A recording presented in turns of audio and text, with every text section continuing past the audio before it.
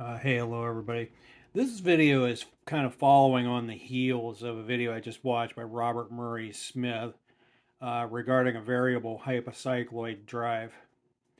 Uh, what I have done here in this illustration, you've seen, probably seen before if you've watched any of my other shorts.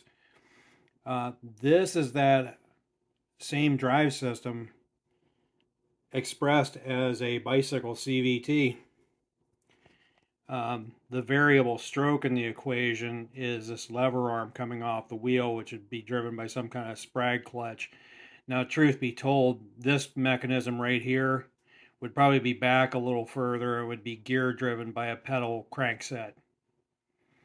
Um, and I'll tell you the thing. That, the thing that bothers me about this is I've I've I've I've seen videos about bicycle CVTs, and they always say the same thing. Well, kind of a hard thing to hard thing to build or hard thing to create.